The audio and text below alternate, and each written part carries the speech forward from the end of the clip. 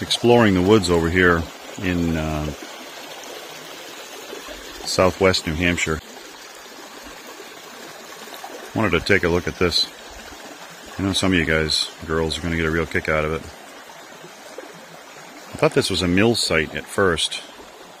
The trail that we're on is over there. Mm, not sure where Trina is, but somewhere in that area. But anyway, you can see the pile of rocks that comes right down through here. This is obviously very well built up.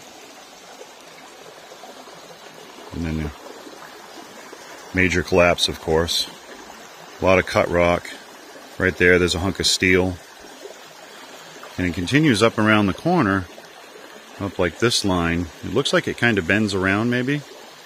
I didn't go over there looking around, that's an assumption. But if you look at those two trees, from here, I think those are red oaks, twin oaks. They've got some age to them. 80, maybe 100 years? Hard to say. So this thing's been down for quite a while. Another interesting point about this is that it's very narrow. This side up here, right in this area, it's only about 25, 40 inches wide, but you can see where there's been a lot of degradation. Trina was up on the other side over there, and she said there's almost like a stone dump off that edge that goes over.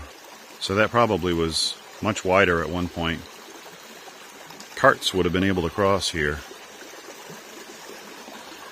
Timeline? I don't know. Hurricane of 38 damage, maybe? Earlier?